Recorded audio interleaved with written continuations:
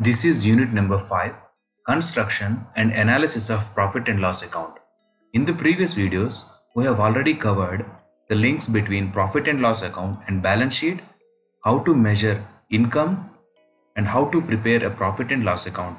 In this video, we are going to see some indirect expenses. Let us jump to the topic.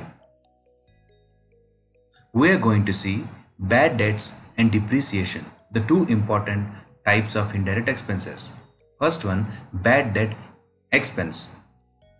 It is a most common phenomena for businesses to conduct credit credit transactions, sale on credit, which means businesses deliver goods and services and receive the money from the vendors or the receiver at a later point of time. These types of transactions are called credit transactions, credit sales. In the credit sales, the revenues are recognized immediately in the profit and loss account. And the amount which is to be received also called as accounts receivable they are treated as assets in the balance sheet. We'll take an example and we will see. Suppose a business makes four credit sales of 250 rupees each during a period. Cost of sales for the same being 500 rupees.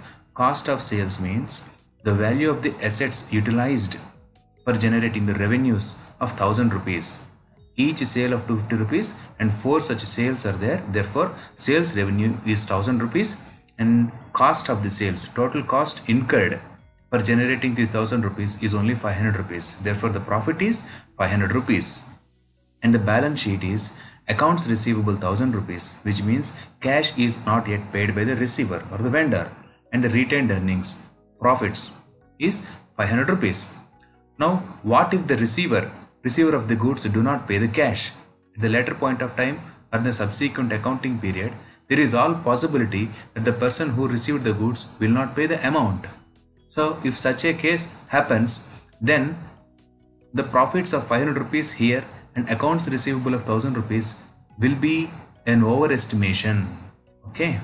Therefore, in order to remove, in order to avoid such unfair representation of accounts, we have to allow, we have to show estimated losses or probable losses in the present accounting period itself. How do we do that?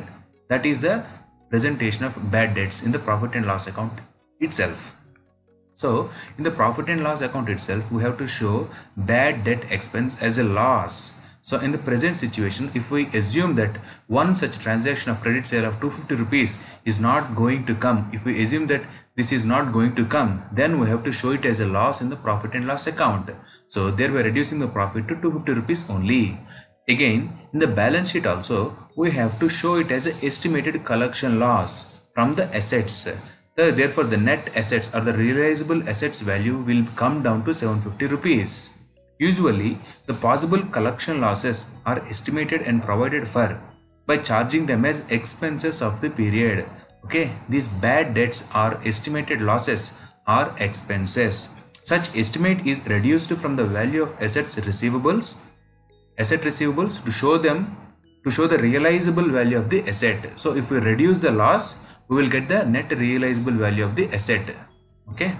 So the next type of indirect expense is Depreciation We all know that fixed assets have long life and they are utilized for generating revenues in the business. The cost incurred on any asset with a fixed life will expire and this cost, expired cost is to be shown as an expense. All costs incurred on any asset with limited life expire during its lifetime and they have to be shown as an expense. We'll take an example and see. A machine is purchased for 5000 rupees having 5 years of life and no salvage value. During the life of the asset, it will be able to it will be able to earn a revenue of 10000 rupees. So, asset value is 5000 rupees, life of asset is 5 years, total revenue it will earn is 10000 rupees, which means 5000 rupees of profit is earned using this asset. So what is this depreciation and when it arises? If we have to measure the profits annually, earlier we have seen, now we have seen that this asset has generated 5000 rupees of profit over a period of 5 years. Now if we have to report the accounts annually and we have to show the profits annually, what should we do? What should be the amount of profit to be recognized every year? Then we take that the revenue is earned, we assume that the revenue is earned in equal amounts like 1000 rupees, uh, 10,000 rupees means 2000, 2000, 2000, 2000 and 2000. Each year 2000 is earned during the 5 years of the life of the asset. Assuming no other costs and no salvage value or the final value, the cost of the asset becomes expense over a 5 year period. Now the question is, how should we apportion this cost over the life of the asset? If we make the simple assumption that the cost expires in equal proportion, just like the revenue is earned in equal amounts every year, we have the simplest solution for apportioning the cost. So 5000 rupees of cost is assumed to be expiring equally every year. 1000 rupees first year, 1000 rupees second year, 1000 rupees third year, fourth year and fifth year each. So at the end of the fifth year, the asset will be gone, which is completely, uh, it, it becomes trash. That portion of the cost of the asset which is reckoned to expire during an accounting period is what is termed as depreciation expense. It is this expense which is matched against the revenue revenues of a period for determining profits.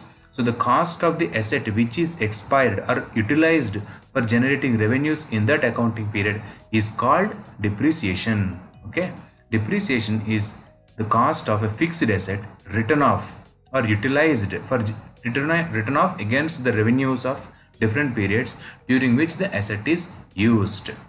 So these are the two types of indirect expenses bad debts and depreciation. These two are expenses. Bad debt is a loss depreciation is an expense. These are indirect expenses. These are to be shown in the profit and loss account. Thanks for watching the video. In the next video we are going to cover different methods of depreciation like straight line method of depreciation written down value useful life value useful life method and other types are there. We will cover in the next video. Stay tuned and bye bye